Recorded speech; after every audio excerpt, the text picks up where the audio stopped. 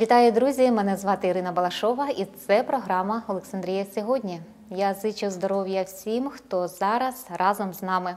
І я з великою радістю представляю свою гостю.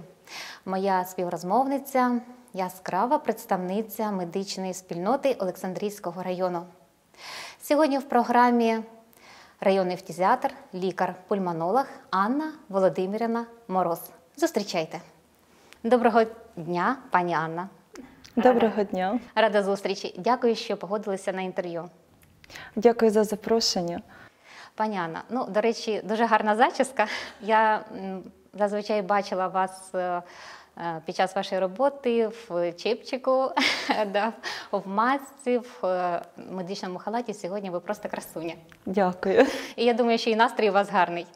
А, Настрій сьогодні супер, е, взагалі, як, як завжди. Але сьогодні напрочуд чудовий, тому що ви запросили мене на телебачення. Сьогодні був особливий ранок. Дякую. Тому Мені теж, і мені теж дуже приємно, що ви підготувалися до інтерв'ю так по-особливому. Ну, давайте для початку поговоримо про вашу роботу, про вашу діяльність. Давайте будемо говорити про те, які виклики стоять перед е, лікарями вашого профілю, які труднощі, з якими труднощами, викликами ви зустрічаєте щодня. Моя робота не, залежить лише від мене. Тому е, вона складається з деяких ланок, які повинні злагоджено між собою взаємодіяти. І основна ланка це звичайно первинна ланка, на яку полягає виявлення пацієнтів з туберкульозом. Е, Я можу сказати, що лікарі первинної ланки в нас висококваліфіковані, Е, вони володіють е, новими методами е, виявлення туберкульозу, вони знають групи ризику, свої контингенти на ділянках. І в Олександрійському районі цей процес досить активний, саме виявлення хворих на туберкульоз. Плюс допомагає ще проведення профілактичних оглядів в районі, зокрема, робота пересувного флюорографа, як це було в 18-19 році, два роки поспіль. У 2020 році ми не могли цього зробити. Оглядаючи е, за місяць приблизно 2,5 тисячі населення Олександрійського району, ми маємо змогу виявити до 10-15 хворих на туберкульоз. Це нових випадків. Сьогодні Україна і весь світ живуть в умовах пандемії. Ми будемо говорити про те, що і в Україні е, зберігається епідемія туберкульозу. Ви погоджуєтесь з цим?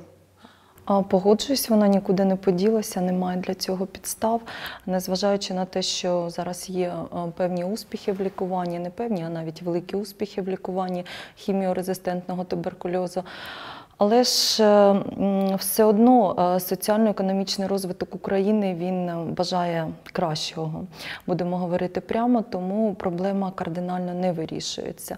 Зв'язку у 2020 році склалися такі умови, що головна увага медичної спільноти була приділена COVID-19. Всі інші захворювання вони кудись пішли в тінь, так само і туберкульоз.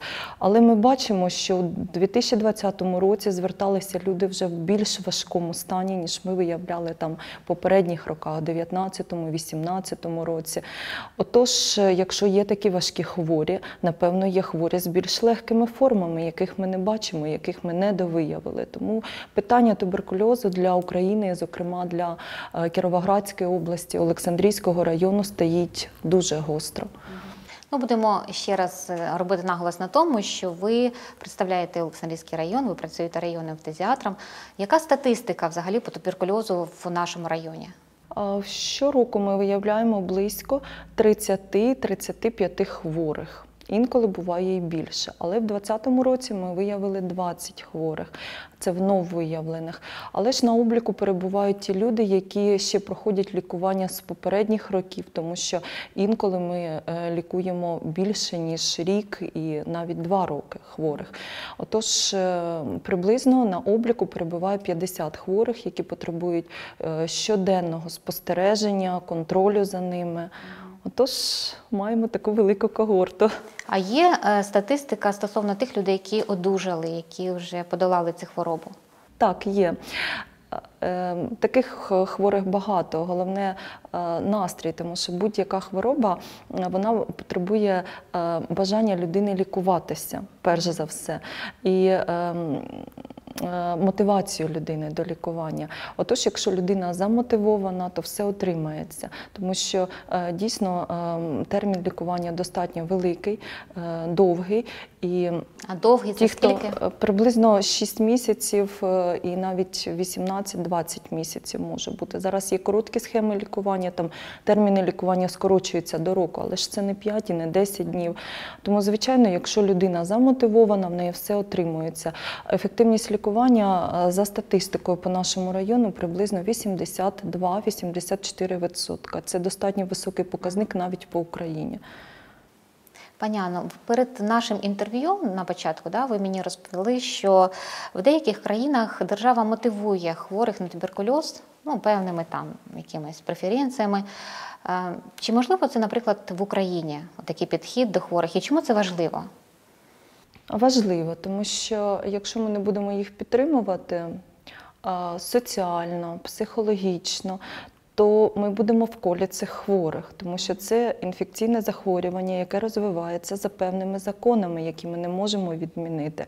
І ця інфекція вона буде виходити, якщо її буде багато за кола уразливих людей і уражати інших. Тому давайте згадаємо 18-19 сторіччя, коли на туберкульоз хворіли відомі особи, заможні особи. Е, Леся Українка, Максим Горький, е, Бетховен, е, особи царської сім'ї. Отже, е, звичайно, будуть хворіти всі. Тому як е, може це, може це несправедливо може виглядати з боку е, стосовно інших пацієнтів, але е, немає іншого виходу. Ви працюєте вже скільки років в районі фтизіатром? Шостий рік. Шостий рік. Ну, ви можете вже сказати, які виклики стоять перед лікарями вашого профілю?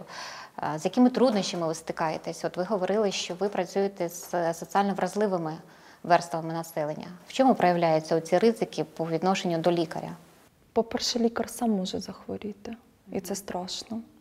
Це страшно. Я намагаюся не думати про те, намагаюся використовувати е, засоби індивідуального захисту, слідкую за своїм медичним персоналом, щоб також дотримувалися правил інфекційного контролю. Е, По-друге, Хочеться допомогти людям. Хочеться, щоб е, людина не тільки вилікувалася, ще й змінила себе, змінила свій образ життя, щоб вона в другий раз до мене не прийшла. І це буває дуже важко, але є в нас такі позитивні випадки, коли е, люди оновлюються на 100%. Вони забувають про те, що там вживали алкоголь, заводять собі особисте життя, сім, родину.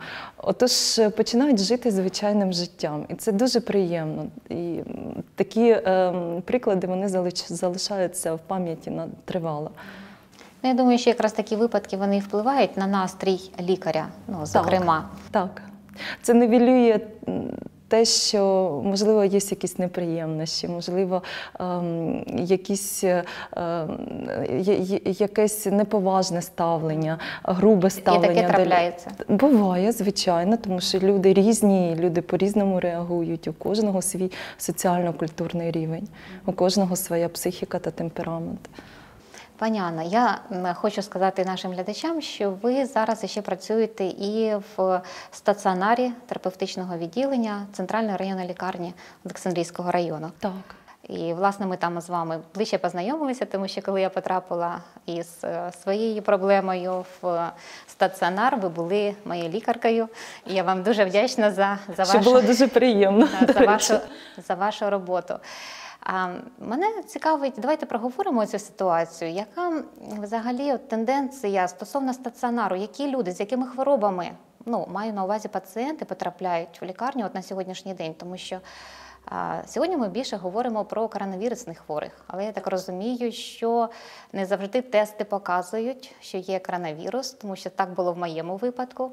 І лікар е, лікує, начебто, не коронавірусних там пацієнта з пневмонією, але фактично є така проблема. Тобто, розкажіть, будь ласка, з якими хворими ви працюєте в е, стаціонарі? До мене відділення потрапляють хворі, які мають пневмонії. Так чи інакше, більшості е, ці пневмонії е, двобічними з ураженням багатьох легеневих сегментів. Залученням в патологічний процес. І е, спочатку, що кидається в очі, так це, це те, що це саме вірусна етіологія даного захворювання. Враховуючи фон е, пандемії, е, звичайно, домінуючим вірусом є саме коронавірус SARS-CoV-2.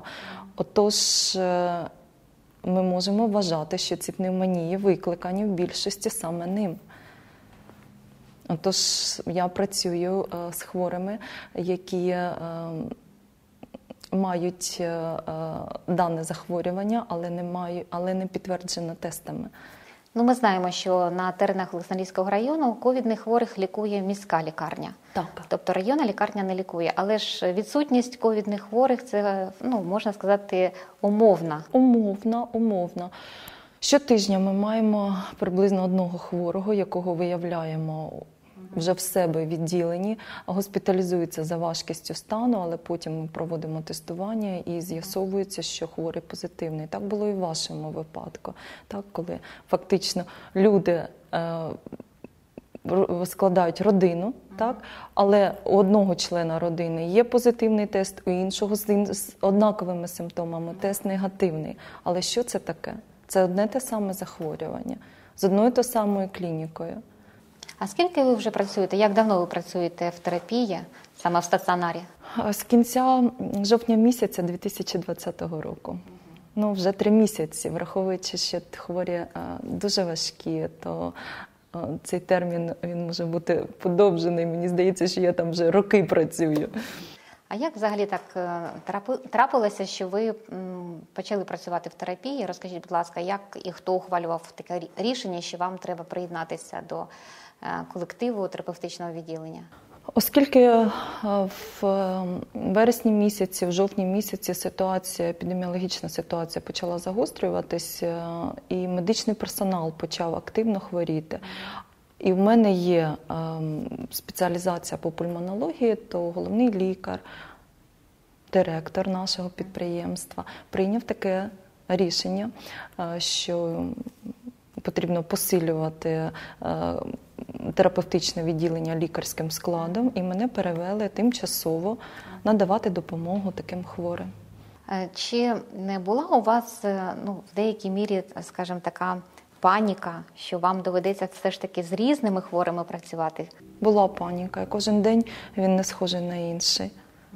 Не знаєш, що тобі підготує е, будь-який пацієнт, тому що він може здаватися стабільним, але через дві години стан його прогресивно погіршується. Ну, я хочу ще раз вам подякувати від імені усіх пацієнтів, які одужали завдяки вам. Дякую вам за вашу роботу. Все ж таки, я сьогодні, е, скажімо, як ваша пацієнтка, відчуваю ну, таку безмежну вдячність за те, що я потрапила в районну лікарню. І е, хочу сказати, що там дуже хороші умови для хворих, і там дуже хороший колектив. Так що вашій особі подяка всім, хто працює в районній лікарні. Дуже дякую вам. Приємні слова. Пані Анна, скажіть, будь ласка, а ви особисто здавали тест на коронавірус і на антитила? Я знаю, що і ми про це писали вже неодноразово в своїй районній газеті, що лікарі, ну власне, всі постійно здають такі тести. Неодноразово здавала, починаючи з липня, раз на місяць стабільно.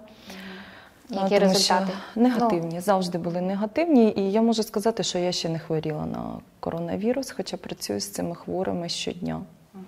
І мій контакт з ними не обмежується 15 хвилинами, тобто в мене дуже великі ризики. Але, на щастя, якось обходила ця проблема. Ну я знаю, і треба про це сказати, що у вас родина лікарів, тому Так. що у вас і чоловік працює в міській лікарні. Розкажіть, будь ласка, про трохи про свою сім'ю. Моя е, родина типова для України, батьки, двоє дітей, середньостатистична. Але особливість полягає в тому, що ми є медиками. От. І е, друзі наші є також медиками. І медицина це наше життя, фактично. Е, Бути дружиною хірурга дуже важко. Чоловік працює хірургом. Так, Але ж він чоловік теж зараз, наскільки я знаю, ви мені розповідали, працює в інфекційному відділенні да, міської так, лікарні. Так, так. Працює, тому що важка кадрова ситуація знову ж таки пов'язана з тим, що дуже багато медичного персоналу хворіє. Ті, хто перехворіли, вони не хочуть повертатися знову і мати ризики щодо повторного інфікування. Ви, от, наприклад, підтримуєте взагалі ідею обов'язкової вакцинації лікарів, ну і взагалі там тих верст населення, які найбільш вразливі. А як лікар, щирий прихильник вакцинації, так підтримує. Ну, скажімо так, якби у вас був вибір е, для себе обрати конкретну вакцину, на яку б ви ну, особисто звернули увагу? Важкий вибір, тому що потрібно вирізняти е, дві технології вироблення вакцин. Е, Ті вакцини, які вироблені е, Сполученими Штатами Америки, Англією, е, Швейцарією, вони зроблені принципово за новою технологією, ще не вивченою технологією, в основу якої покладено саме е, генетичний матеріал вірусу, а потім його синтезування в організмі людини. Тобто достеменно невідомо, які наслідки вакцинування будуть потім. Але це нова вакцина з дос- з достатньо доведеною клінічною ефективністю, як е, декларує це виробник. І друга група вакцин це російська вакцина та китайська вакцина. Вони вироблені за старою вже відомою технологією. І також достатньо висока ефективність е, імунного захисту. Яку Україна вакцину завезе, буде залежати від нашого керівництва держави. Отож, яка б вона не була, а вакцинуватися потрібно, особливо уразливим групам. Перш ніж прийняти рішення про вакцинацію, потрібно ем, знати декілька е, показників. І, по-перше, чи хворіла людина, чи не хворіла. Е, Попередньо ем, потрібно провести тест е, на антитіла до коронавірусу і визначитись. По-друге, якщо ця людина має якісь е, супутню патологію, то це ще один плюс до того, щоб е, провести щеплення. От, все інше буде вирішувати медичний персонал. Тобто, якщо людина перехворіла на коронавірусну інфекцію, то їй бажано не робити певний час щеплення. Правильно я розумію? А якщо перехворіла в цьому сезоні, то як мінімум на півроку це ж те саме щеплення, навіть ще краще. Це вже природній захист, свій власний захист вироблений.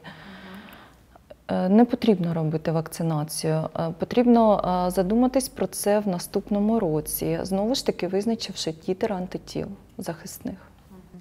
Ну, я, можливо, ви знаєте вже таку оперативну інформацію, як швидко і коли вже такі е, вакцини прийдуть в регіони для того, щоб, наприклад, лікарі вже 100% е, змогли зробити собі такі щеплення. Чи є у вас така інформація? Лише офіційна інформація з е, СМІ, і ще цієї вакцини навіть немає в Україні. 15 лютого очікуються поставки перших доз вакцини. І е, наш прем'єр-міністр заявив, що саме це буде початок вакцинальної кампанії в Україні. А далі вже побачимо, як буде розподілятися по регіонам, враховуючи дещо таку інертність державного апарату, то ми отримаємо вакцину в Кіровоградській області. Я гадаю, що на квітень місяць. Е, Ще хотіла проговорити з вами таку ситуацію. Наприклад, коли вже е, ми е, знали, ми всі жителі України знали, що починається пандемія, що це вже торкається і нашої країни. Е, Фахівці говорили про те, що усі ми перехворіємо, і так говорили про це впевнено. Наприклад, скептики думали про те, що це неможливо, тому що якщо ти дотримуєшся певних вимог, то ти можеш ну, себе захистити від цього вірусу. Сьогодні ми вже, е, коли маємо такий вже досвід, да, е, більшість людей вже схильні до того, що так справді ми перехворіємо. Яка ваша думка з цього приводу? На початку епідемії, в квітні, травні 2020 року, людям, які, ем, які ем, якось пов'язані з медициною, всім було зрозуміло, що цей вірус він прийшов надовго, назавжди. Тобто ховатися від нього все життя неможливо, не можна від нього сховатися ніде. Отож, е, нам прийшлося якось з ним взаємодіяти. І абсолютним фактом було те, що перехворіють усі, тому що повітряно-краплинний механізм передачі дуже важко контролювати. Але і на початку епідемії наша країна.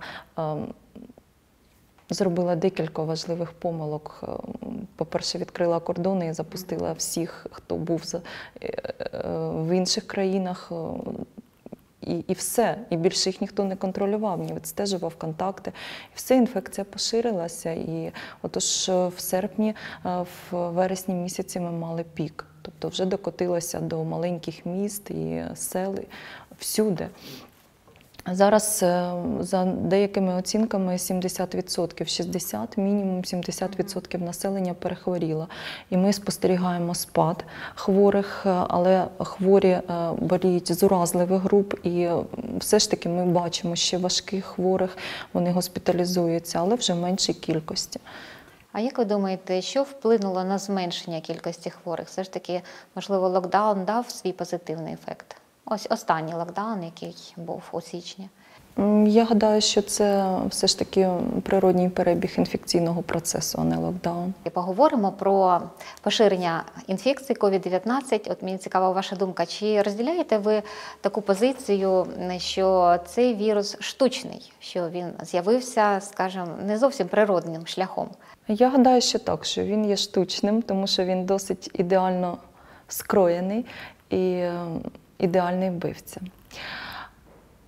Але е, враховуючи, що вірус на початку епідемії мав високу летальність, а йому потрібно зберігатися е, в середовищі, тому що він живий, він хоче жити і він змушений мутувати. Тому ті мутації, які ми спостерігаємо зараз, які фіксуються в країнах е, Європи, в Данії, в Англії, тощо навіть в Канаді такі мутації зафіксовані, вони направлені на те, щоб вірус зберігався в зовнішньому середовищі, щоб він поширювався легше, уражав більшу кількість людей, але мав нижчу летальність. В головних локусах е, геному мутації не відбуваються, і таким чином е, він намагається вижити, е, бувши штучно створеним.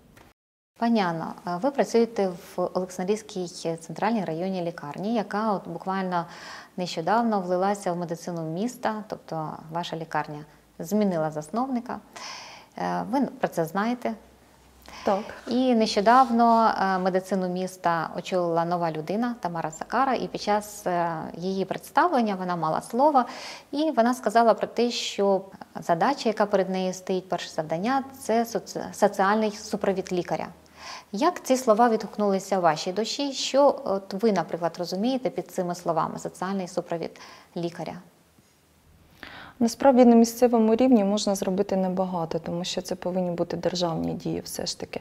Але те, що можливо, це преміювання тих е, медичних працівників, які мають особливі досягнення в галузі, е, які е, багато працюють тощо для того, щоб їх мотивувати. І звичайно, це е, додаткова надбавка до заробітної плати від місцевої влади за престиж професії, тому що потрібно підвищувати престиж медичного працівника. Він в нашій країні занищений досить сильно ось е, такою жебрацькою зарплатнею. Не секрет, що люди з некваліфікованими професіями отримують набагато більше, ніж лікар-початковець. Ви як лікар, да, от, е, маєте певне навантаження, але разом з тим ви знаходите е, час і для таких приємних моментів. Я знаю, що ви, крім всього іншого, вивчаєте іноземну мову, але про це поговоримо е, трохи далі. Мені цікаво ще, як ви і ваші колеги підвищують свою кваліфікацію. Чи підтримує сьогодні взагалі оцей напрямок сама держава? Тобто, де шукають лікарі додаткову інформацію, як обмінюються взагалі досвідом? Розкажіть, будь ласка, про це. За новими правилами підвищення кваліфікації, професійної кваліфікації лікарів, ця функція покладається на них самих фактично. Але все ж таки держава проводить е, безкоштовні курси е, професійного вдосконалення, е, тому що в нас велика мережа інститутів, академій післядипломного медичного розвитку. Тож, звичайно, що вони проводять курси як на безкоштовній основі, так і за рахунок медичних працівників. Тож намагаємося якось балансувати, знаходити і безкоштовні, і ті, що для нас корисні, але вже за власні фінансові ресурси. Також е, багато е, інформації можна знайти в соціальних мережах, бути підписаним на різноманітні, в тому числі міжнародні групи, і знаходити корисне для себе, нове для себе. І зараз я вважаю, що набагато більше можливостей для самовдосконалення професійного, ніж було раніше, тому що щодня проводяться вебінари, зустрічі, конференції, аби, аби вистачало часу на все це. Ви особисто як лікар, яка працює в терапевтичному відділенні, яка лікує хворих з пневмоніями, де ви е, черпаєте інформацію? Наприклад, за якими протоколами треба лікувати, які нові медичні препарати з'являються? Як взагалі от, е, до вас надходить ця інформація? Чи ви сама в постійному пошуці? В постійному пошуці. Це так. А також е, є державні документи, які регламентують медичну допомогу. В розрізі коронавірусу, і слід зазначити, що е, це одне з небагатьох захворювань, де є державний протокол по лікуванню, і ми дотримуємось державного протоколу. Ми не можемо внести в нього щось те, чого немає там. Отож, він оновлюється щомісяця. До речі, хотіла да, уточнити, як часто він оновлюється, тому що ми Останнє розуміємо, оновлення 31.12.2020, уявіть собі. Ну, лише місяць пройшов. Перед цим було 13.11.2020. Ще перед цим було 17 вересня. А з чим пов'язане оновлення цих протоколів? З появою нових препаратів?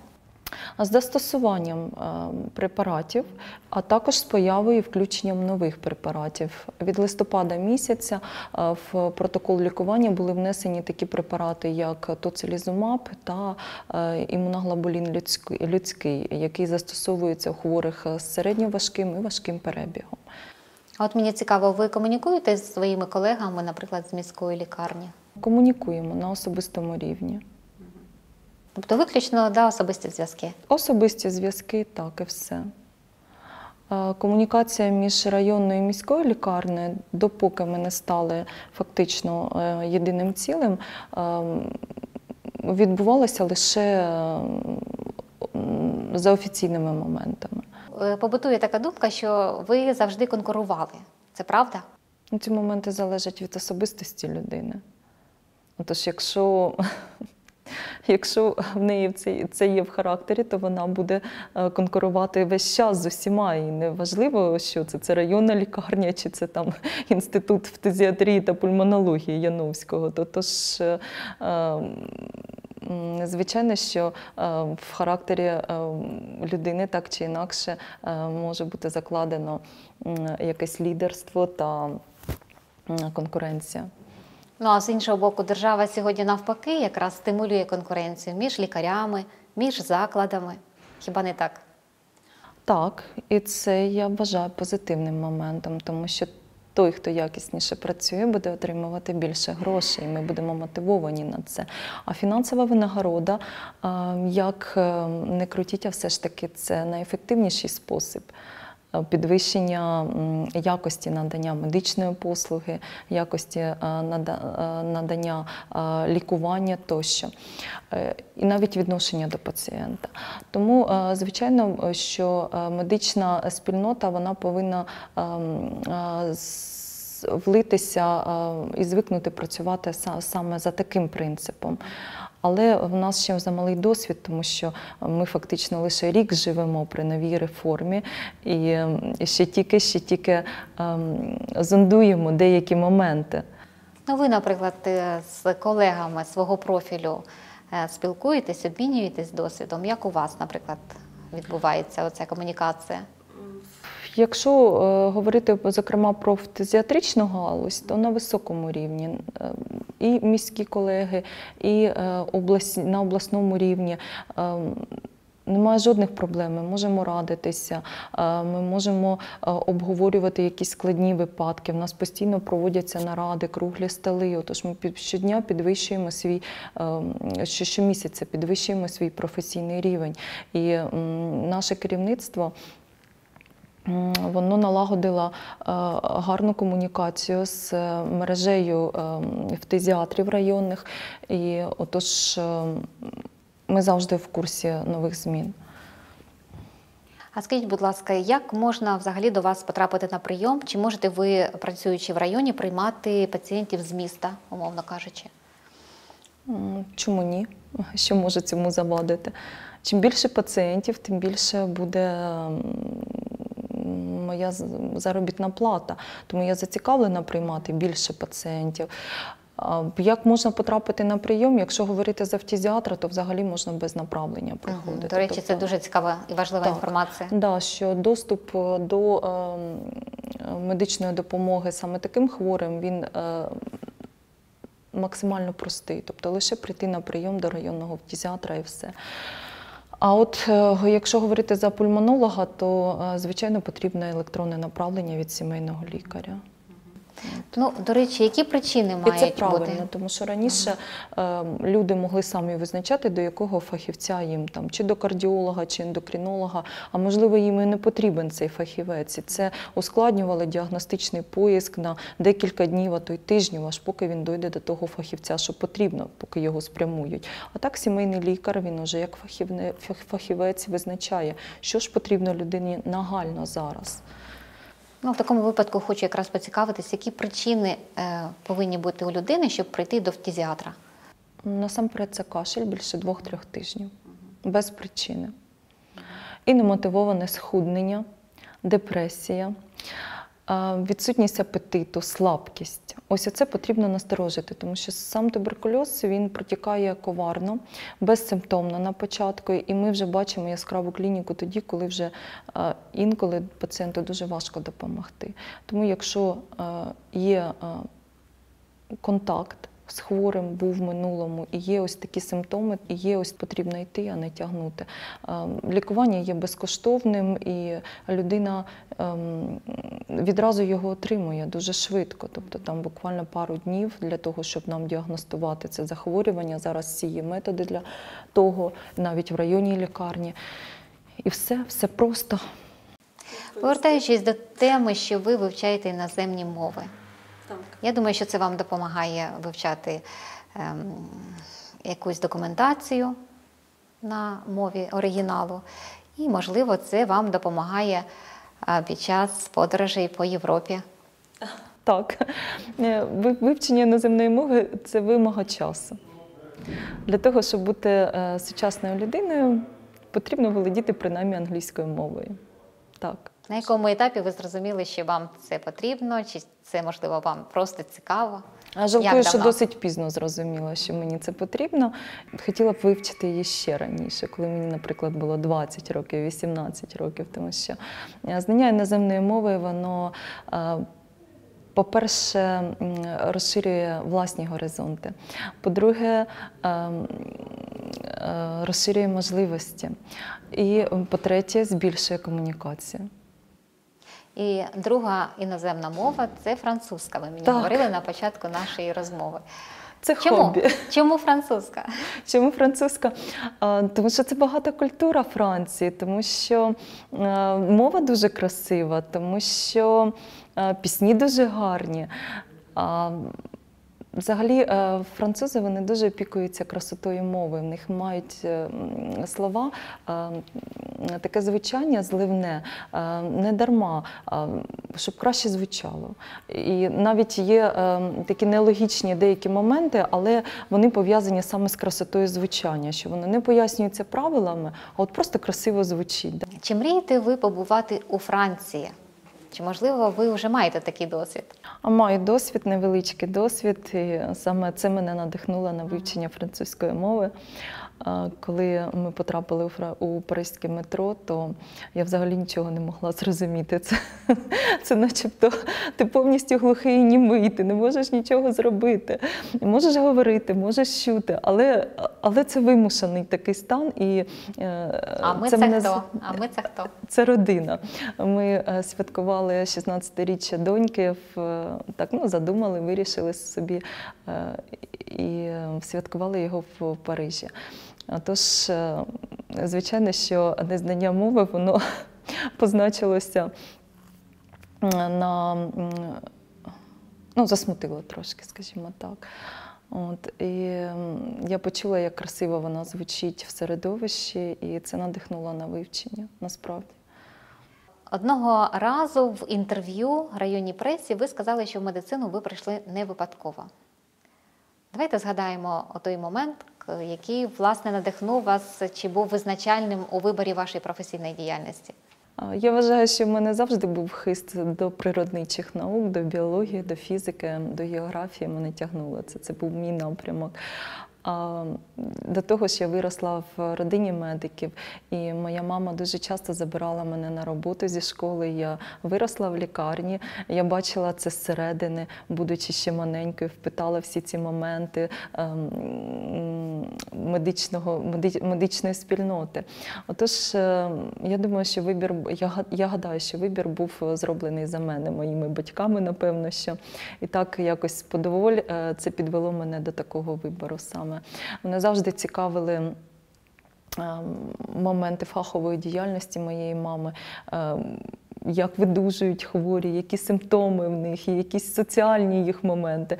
Вона, коли приходила з чергування, то ніколи не лягала відпочивати, поки не розповість мені, що ж трапилося, що, що такого цікавого у неї на роботі.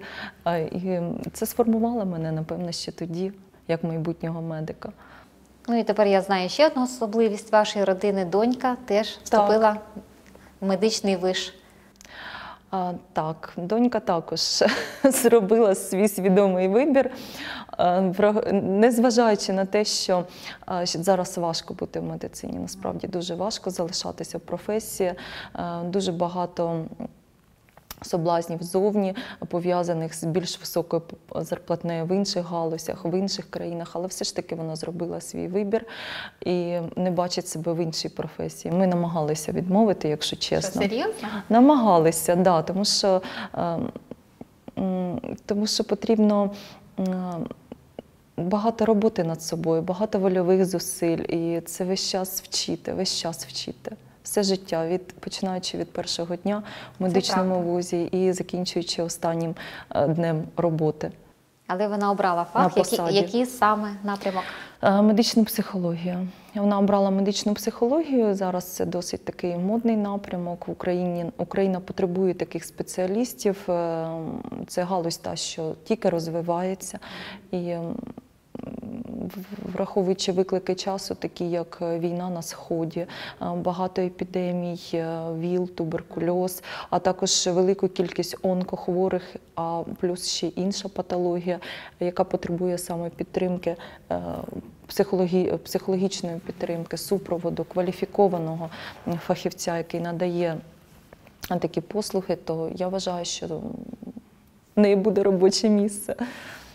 Ну, я дуже рада за вашу доню і за вашу родину. Вам бажаю здоров'я, наснаги, ну, всіляких е, успіхів в вашій професійній діяльності. Пані Анна, наше інтерв'ю добігає кінця. Можливо, на сам кінець ви теж хочете побажати щось нашим глядачам. Як жінка хочу побажати родинного затишку, а як людина хочу побажати везіння і як лікар міцного здоров'я. Я вам вдячна за те, що знайшли час.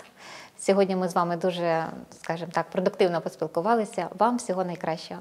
А нашим глядачам хочу нагадати, що сьогодні в програмі Олександрія сьогодні е, зі мною спілкувалася Анна Мороз. Я вам, друзі, бажаю міцного здоров'я, наснаги, не забувайте, все змінюється на краще. До побачення.